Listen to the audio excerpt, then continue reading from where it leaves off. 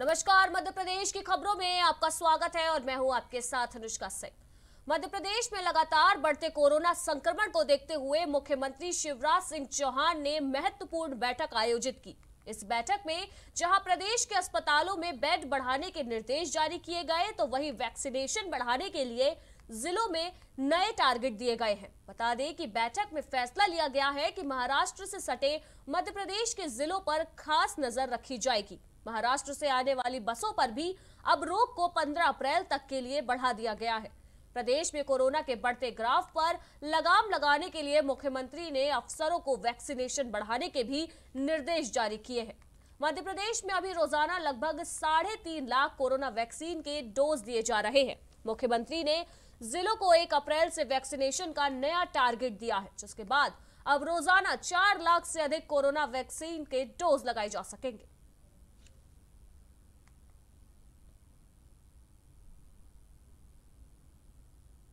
भोपाल में आज से 45 वर्ष से अधिक लोगों के वैक्सीनेशन का काम शुरू हो चुका है, जिस पर गृह मंत्री नरोत्तम मिश्रा ने कहा कि अब दवाई भी रखनी है और कड़ाई भी रखनी है। आज लगभग चालीस हज़ार लोगों को वैक्सीन लगाने का प्रयास किया जाएगा। वहीं उन्होंने बंगाल चुनाव को लेकर कहा कि सभी लोग वहाँ अधिक से अधिक संख्या में मतदान करें और बीजेपी को भारी मतों से विजयी बनाएँ। वहाँ तो किसान कोई है ही नहीं। उद्योगपति हैं, उसी दर्जे के बाकी हैं।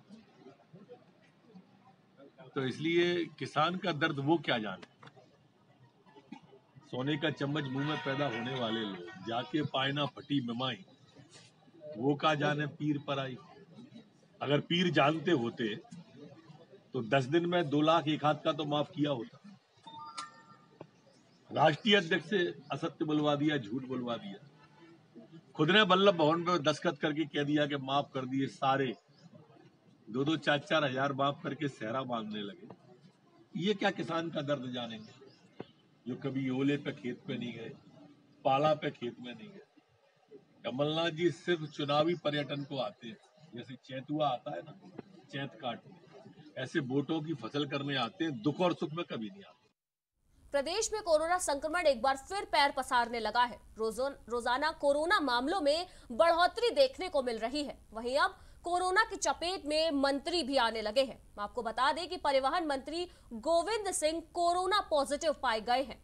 उन्होंने यह जानकारी अपने ट्विटर अकाउंट के ज़रिए दी। उन्होंने वीडियो जारी करते हुए बताया कि वे और उनकी पत्नी कोरोना पॉजिटिव पाए गए हैं। वहीं उन्होंने लोगों से अपील की कि जो भी लोग उनके संपर्क में आए हैं, वो अपनी कोविड जाँच ज़रूर करवाएँ। प्रिय साथियों, कल मैंने कोरोना की जाँच कराई। आज कोरोना पॉजिटिव मेरी रिपोर्ट आई है। मेरा सबसे हाथ जोड़ के निवेदन है कि जो भी मेरे संपर्क में आए हों, वो अपना कोरोना टेस्ट करा लें। आज अभी जो मैं देख रहा हूँ कि पहले सर्दी जुकाम होती थी गला दुखता था, मुँह में कड़वाहट होती थी, वो सब मुझे कहीं लग रहा लग रहा है। फिर भी कोरोना पॉजिटिव आया है तो मेरा सबसे निवेदन है कि सतर्क रहे और मास्क ज़रूर लगाएँ।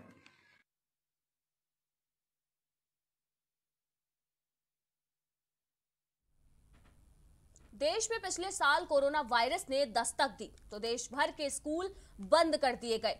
लोग घरों में कैद होने पर मजबूर हो गए। वहीं बच्चों की पढ़ाई प्रभावित न हो, इसलिए ऑनलाइन कक्षाएँ शुरू की गई। लेकिन इससे ग्रामीण क्षेत्र में रहने वाले बच्चों की समस्या और बढ़ गई, क्योंकि उनके पास ऑनलाइन कक्षाओं के ज़रिए पढ़ाई करने के लिए मोबाइल और नेटवर्क की सुविधा नहीं थी।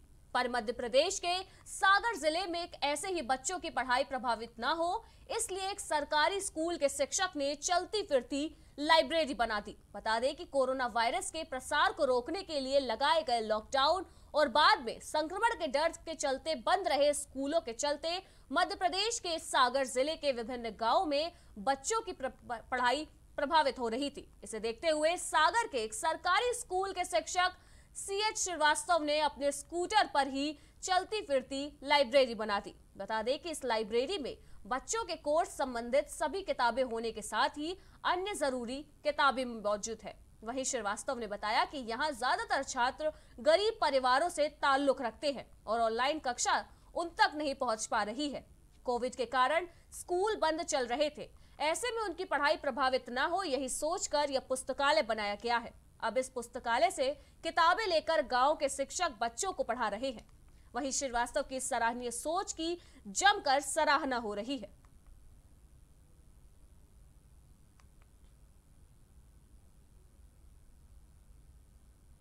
चितरंगी के बगदरा कला जंगल में भीषण आग लग गई। पंद्रह घंटे की मशक्कत के बाद भी आग पर काबू नहीं पाया जा सका। बता दें कि आग तेज़ी से सैकड़ों एकड़ जंगल में फैल चुकी है। वन अमला के अलावा फायर ब्रिगेड की टीम आग बुझाने में लगी हुई है। आग की धधकती लपटे पूरे जंगल को धीरे धीरे अपने आगोश में ले रही है। वहीं बगदरा कला जंगल में लगी इस भीषण आग की चपेट में बड़ी संख्या में वन्य प्राणियों के आने की भी संभावना लगाई जा रही है। वहीं मौके पर फॉरेस्ट अमले के साथ एसडीएम चित्रंगी नीलेश शर्मा भी मौजूद हैं। वहीं आधा दर्जन बस्तियों तक आग फैलने की आशंका व्यक्त की गई है। जानकारी के मुताबिक बदकुड़, चिकनी गौर हवा नौदी हवा पीपर, पीपरवा सहित बस्तियों की ओर आग पहुँचने की आशंका है, जिससे इलाकों में दहशत बनी हुई है। आग की चपेट में सागौन सरई और बाँस के पेड़ भी आ चुके हैं। इस आगजनी से करोड़ों का नुकसान का अनुमान लगाया जा रहा है। वहीं आग की चपेट में आने से कई वन्य प्राणियों के जलने की भी आशंका जताई गई है। उनकी जानकारी हमने दी थी कि अभी कोई किसी भी स्तर पर उनको कोई ऐसी उससे परिस्थिति निर्मित नहीं हो रही तो अभी वर्तमान में स्थिति नियंत्रण में है और लगातार हम उस पर उसको उसको जो है आग जो लगी हुई है, क्योंकि वर्तमान में हवा की रफ्तार भी तेज है, लेकिन उसको नियंत्रण करने के जो प्रयास हमें करने चाहिए, वो हम लगातार कर रहे हैं। और किसी भी तरीके से अभी जो आसपास का रहवासी एरिया है, वहाँ तक उसको नहीं पहुँचने दिया जाएगा, उसको स्थिति को नियंत्रण रतलाम के सैलाना फोर लेन पर ढाबे पर काम करने वाले कर्मचारी को अज्ञात नकाबपोश बदमाशों ने गोली मार दी और मौके से फरार हो गए। गनीमत रही कि गोली कर्मचारी के गाल को छूकर निकल गई। वहीं घायल कर्मचारी को जिला अस्पताल रेफर किया गया है। वहीं पूरी घटना सीसीटीवी कैमरे में कैद हो गई है। बताया जा रहा है कि आम्बा निवासी राकेश सैलाना में मधुवन ढाबे पर काम करता था शाम करीब आठ बजे अज्ञात तीन नकाबपोशों ने उसको गोली मार दी। फ़िलहाल सैलाना पुलिस इस मामले में अज्ञात बदमाशों की तलाश में जुटी हुई है।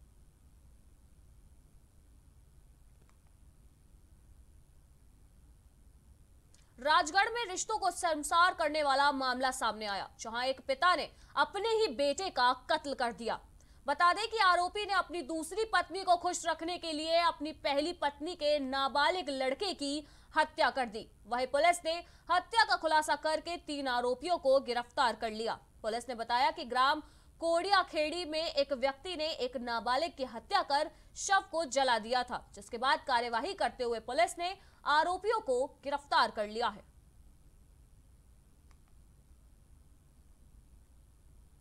तारीख को होली के दिन की घटना है, जिसके अगले दिन एक पर्वत सिंह नाम के व्यक्ति ने पहले इसकी शादी ममता बाई से पंद्रह वर्ष पूर्व हुई थी, जो गंगा हावनी गाँव की रहने वाली थी। और कुछ समय बाद इनका पति पत्नी का जब आपस में कुछ नहीं बना तो ये उसको छोड़ के चली गई। मगर इससे जो पुत्र था अरुण, वो पिता के साथ ही रहता था। और कुछ समय बाद इसने दूसरी शादी कर ली। उसका भी सहयोग से ममता ही नाम है। उसके दो बच्चे हुए। तो जो दूसरी पत्नी थी, उसको शादी के बाद जब इसके दो बच्चे हो गए तो पहला, पहली पत्नी का बच्चा इसको कहीं ना कहीं खटकने लगा और अपने बच्चों का कंप्यूटर उसको लगने लगा। तो वो अपने पति से पर्वत सिंह से झगड़ा करने लगी कि या तो इस घर में मैं रहूँगी या ये बच्चा रहेगा। तो वो परेशान रहने लगा पति। अट्ठाईस तारीख को जब उसका दिमाग में कुछ ये विवश घटना का प्लान बनाया उसने। और जब सब लोग होली के दिन, होली का दहन में व्यस्त थे, इसने अपने बच्चे को अरुण को गला दबाकर, खेत ले जाकर गला दबाकर मार डाला और अपने एक साथी जितेंद्र के साथ मिल के अगले दिन आनंद फानंद में उन्होंने बच्चे का दाह संस्कार कर दिया। जब ये उसकी बात उसकी माँ को जानकारी हुई तो माँ ने आगे इंदौर नगर निगम के ज़रिए बढ़ाए गए कर का लगातार विरोध किया जा रहा है। वहीं कर बढ़ाने के विरोध में आप पार्टी कार्यकर्ताओं ने नगर निगम मुख्यालय पर प्रदर्शन किया। वहीं आप पार्टी कार्यकर्ताओं ने थाली चम्मच बजाकर नगर निगम के उच्च उक्त निर्णय के खिलाफ जमकर नारेबाजी की। वहीं कार्यकर्ताओं ने मांग करते हुए कहा कि नगर निगम को जल्द ही अपना निर्णय वापस लेना चाहिए।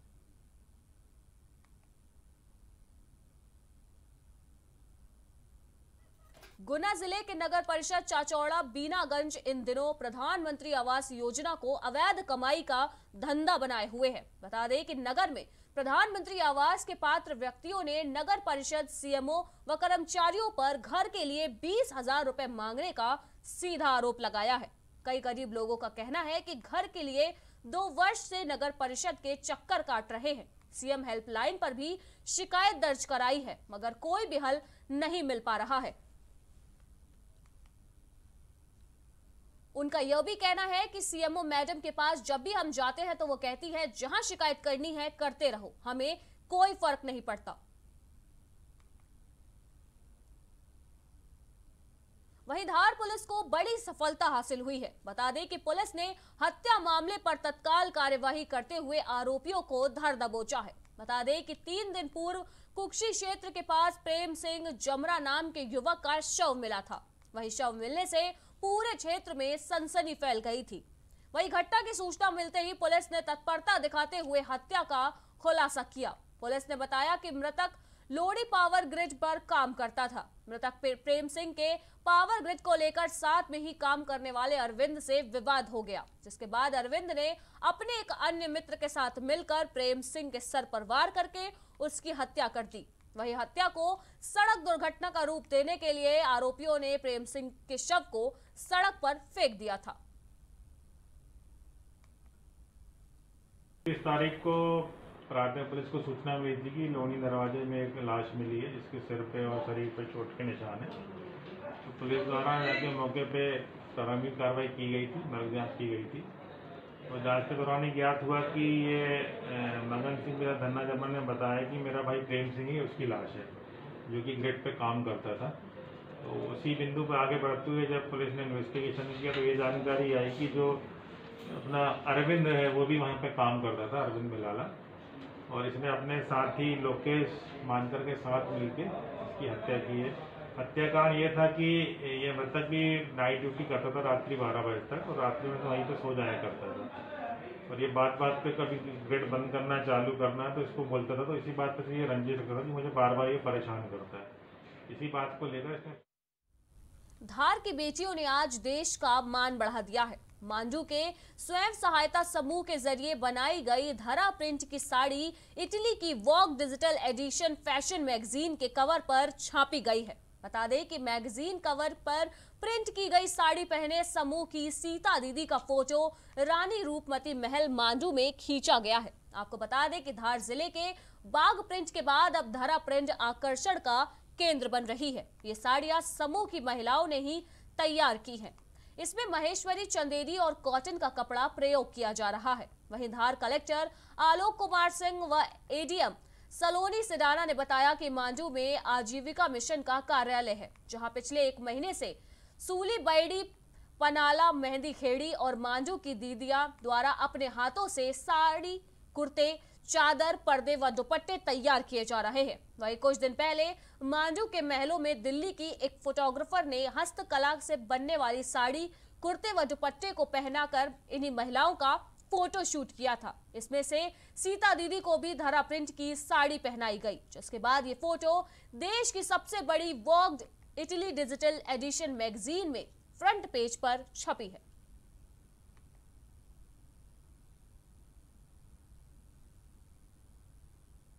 भोपाल के जेपी हॉस्पिटल में फिर एक बड़ी लापरवाही देखने को मिली, जहाँ हॉस्पिटल स्टाफ ने कोविड संक्रमित मरीज़ की डेड बॉडी को परिजनों को सौंप दिया। वहीं पुलिस के हस्तक्षेप के बाद निजी वाहन से हॉस्पिटल स्टाफ ने कोविड संक्रमित की डेड बॉडी को वापस उतारा। बता दें कि इससे पहले भी ऐसे मामले सामने आ चुके हैं। प्रदेश में जहाँ एक और कोरोना विकराल रूप ले रहा है, वहीं इस तरह के मामले सामने आने के बाद स्वास्थ्य विभाग पर तमाम तरह के सवाल खड़े हो रहे हैं। डॉक्टर सोते हैं? सब सोते हैं, कोई नहीं मरीज़ का रात में चिल्ला रहा है इनको कोई मतलब नहीं। मर रहा है मरीज़ कुछ भी है सब सो रहा है। मरीज़ एक रात में जम जम के चिल्ला रहा था। रात में इतनी जम जम के चिल्लाए ये दोनों हादसे रात में हुए। एक रात में दो बजे रात में हादसा हुआ। दो बजे एक डेट खत्म हो गया। ये तीन बजे हादसा हुआ। लापरवाही हो रही। है? लापरवाही हो रही। लापरवाही हो रही। कोई देख नहीं रहा। आपने देख लेते बाई चल तो ये हादसे नहीं होते। कम से कम वो चिल्ला रहा है जम जम के डॉक्टरों को जाके देखना चाहिए थी, क्या प्रॉब्लम है, मरीज़ को क्या दिक्कत हो रही है। ऑक्सीजन निकाल के फेंक दिया उन्होंने। तो कोई लाभा बिल्कुल नहीं देखा देखा वाली हो रही है। जब हमने चिल्लाया, भाई डॉक्टर चिल्ला रहा है अंदर अंदर गया तो उन्होंने देखा डॉक्टरों ने जाके। फिर उनको लगाया दवाया उनके घर वालों ने आया, फिर उनको दबाया। तो तब तक वो ठीक रहा। थोड़ी देर बाद उन्होंने दम तोड़ दी, दो बजे रात में वो भी ले गए। और मध्य प्रदेश की खबरों में फ़िलहाल इतना ही। बाकी की तमाम खबरों के लिए देखते रहिए प्राइम टीवी नमस्कार।